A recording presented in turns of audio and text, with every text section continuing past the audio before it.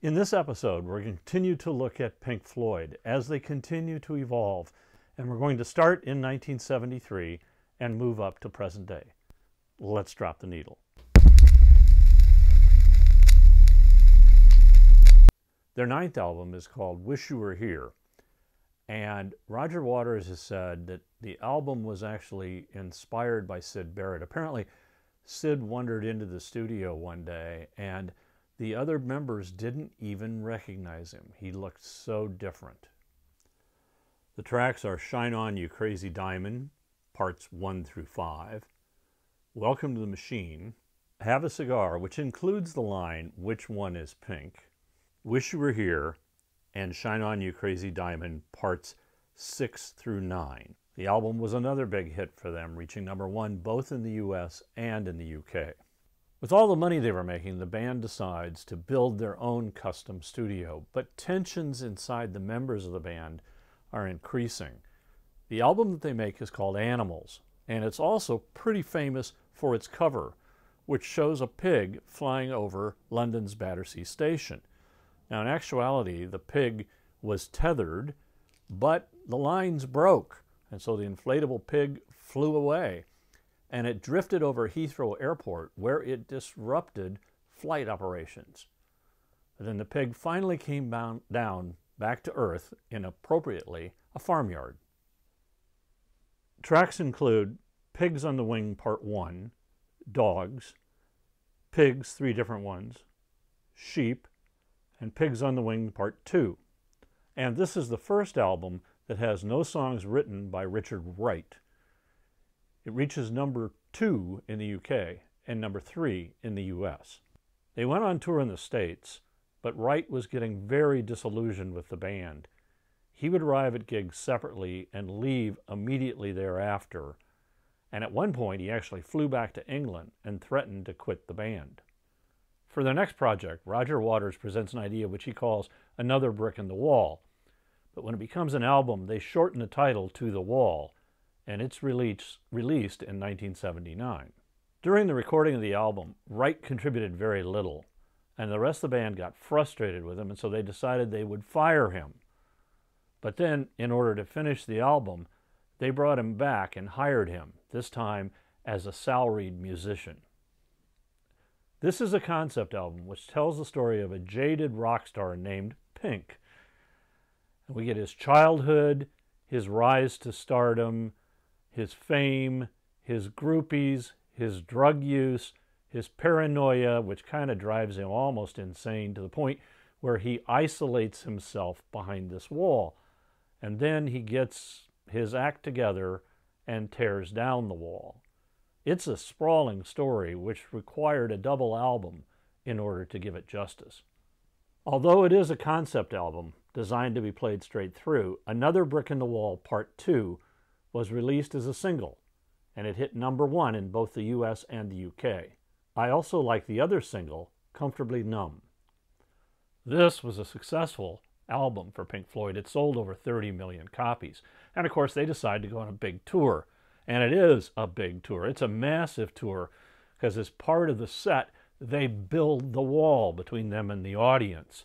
Now, as a result, it was a very expensive tour and it's rumored that no member of Pink Floyd actually made any money off of that tour, except for Richard Wright, because he wasn't a member of Pink Floyd, he was a salaried musician.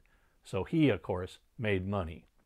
Waters continued to be the dominant creative force in Pink Floyd, and he said that their next album should be the outtakes and unfinished songs from The Wall, and he was going to call the album Spare Bricks. Well, that didn't set well with David Gilmour. He felt that the album should be all new original material. But he had a problem. David hadn't written very many new songs for the album. So Roger just pressed ahead and retitled the album The Final Cut. This album took Roger Waters' political anti war feelings and pushed them right out there in your face. It's all about the Falkland Wars and his hatred for Margaret Thatcher. David Gilmour did not like this album. He disliked the fact that Waters was politicizing. And this new direction prompted arguments.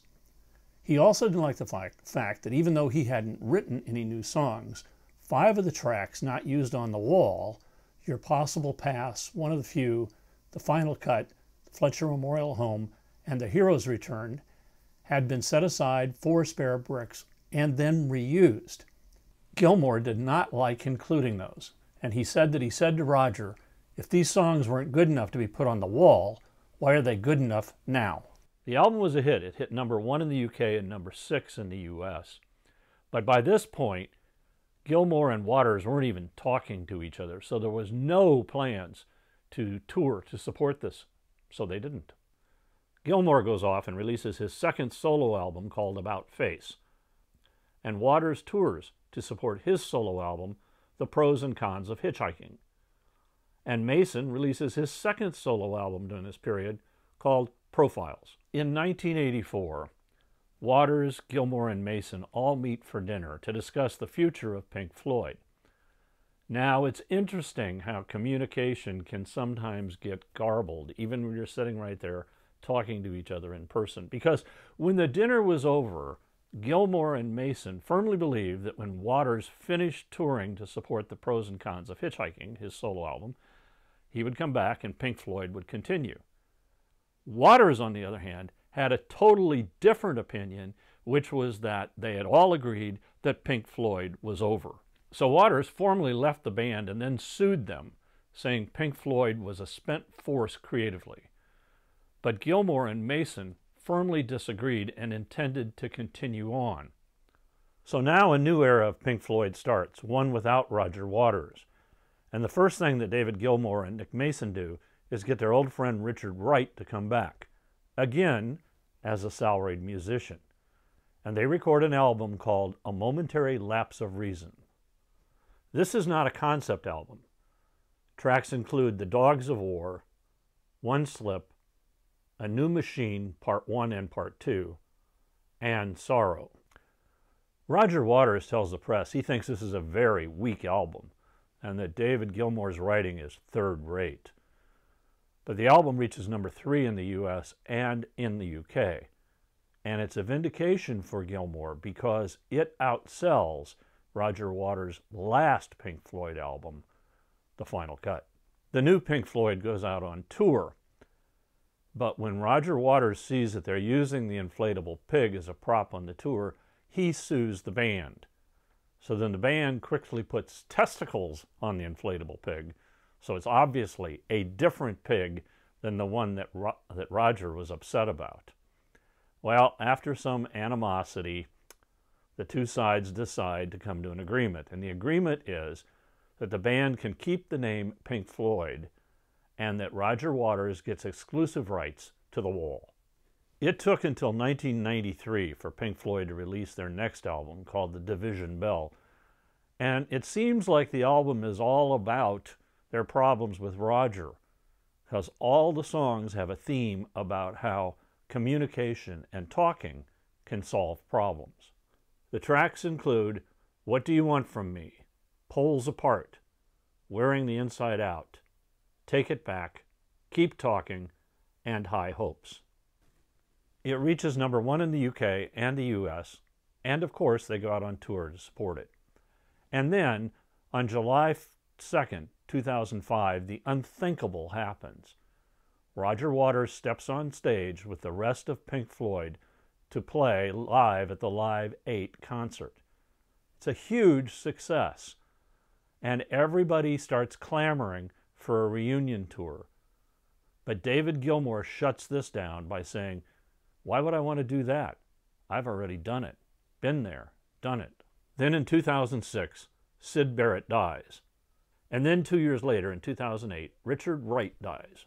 And in 2014, Pink Floyd releases their 15th and what would be their final album, The Endless River. It's a double album that's mainly instrumental music.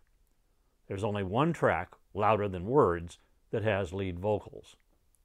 The album reached number one in the UK and number two in the US, and with that, Pink Floyd was done. Well, at least until 2022, when Gilmour and Mason got together and recorded a single called Hey Hey Rise Up to support the Ukrainians uh, against the Russian invasion. Now, Roger Waters has never ever criticized Russia for that invasion, but boy, did he criticize this song.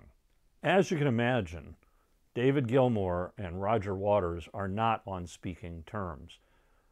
Now, Roger in 2023 decided to re record Dark Side of the Moon, and he calls it Dark Side of the Moon Redo 2023, or Redux, however you want to say that. Roger's comments have got him into a lot of trouble. On stage, he lets his political stance be very clearly known to the audience. David Gilmour has recorded five solo albums and is very much in demand playing with a variety of different musicians. Nick Mason formed a new band in 2018 called Nick Mason's Saucerful of Secrets and continues to tour performing early Pink Floyd songs. Now, as usual, I've created a Spotify playlist, and here's the link, and I'll put it in the comments down below as well. You can go there and listen to a lot of the Pink Floyd music that we've just been talking about. From their early psychedelic hits to their spacey improvisations, to their success, to their best selling albums, to their breakups, tensions, lawsuits, reforming, breaking up, continuing. Pink Floyd has certainly had a career, but we still don't know which one was pink, do we? well, thanks for watching and shine on you, Crazy Diamond, and keep a rockin'. If you like this episode, hit the like button, and you can also leave me a comment down below, and I'll respond to you. If you subscribe, we'll let you know when future episodes come out.